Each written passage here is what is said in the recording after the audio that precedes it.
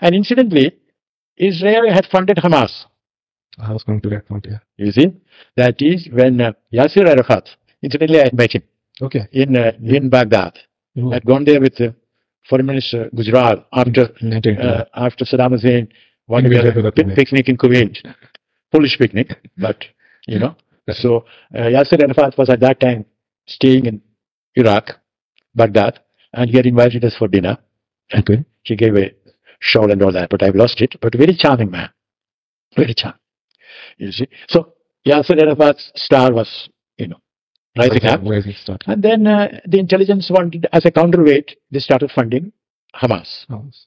It's almost like a bit like what Indira Gandhi did to Bhindranwale. You know the story. And we all know that. Yeah, unfortunate and tragic. Yeah. You know what I mean.